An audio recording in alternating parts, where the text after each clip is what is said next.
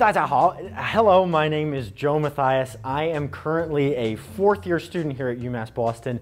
I went over to China. I was in the city of Beijing and I studied at the People's University of China, otherwise known as Renmin 大学.こんにちは、Arvan です。ソカ大学で勉強しました。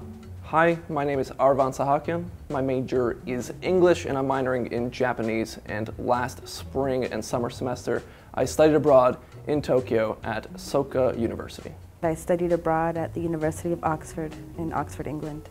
Uh, I decided to study abroad at the University of Limerick, Ireland because of my major, which is economics. When you study economics, what you study would be more of how countries' policies affect the entire country.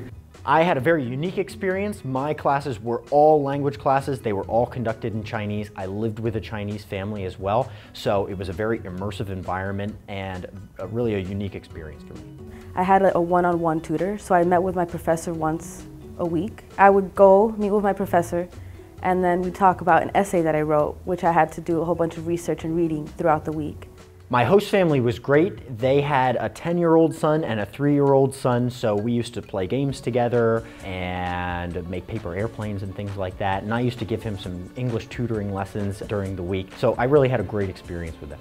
I stayed in the dorms and uh, I had three roommates, one kid from China, another kid from Ireland, and uh, the other from Boston. The particular study abroad program I went on was a reciprocal exchange program with Soka University, which means that all you have to do is pay your regular UMass tuition just like you would any other semester, and Soka covered the dorm expenses, so you had no additional costs. Also, we had the Casey Lamb Scholarship, which helped me out a lot. Casey Lamb donates money to this study abroad program every year for students to go and live in Japan, and it was a huge help. Cherry blossom season in Japan is something that everybody ought to see. It is absolutely gorgeous. One of the places that I went that was maybe the most beautiful was Jiuzhaigou, which is a uh, world famous national park in China. The waters are clear all the way to the bottom of these crystal blue lakes and it's, it's just such an incredible uh, natural environment to be able to see.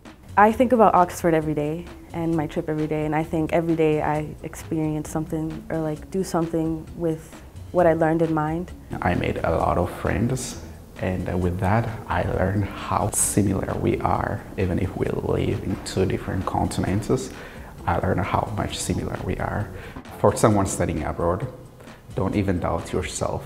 Just do it because you're gonna have a lifetime experience making a lifetime friends and something that you will never forget and uh, that can help you for your entire life. Don't be afraid. Get out of your comfort zone and just do it. You got nothing to lose. You're in college. This is the time. If you don't do it now, you're not going to do it later, so do it now.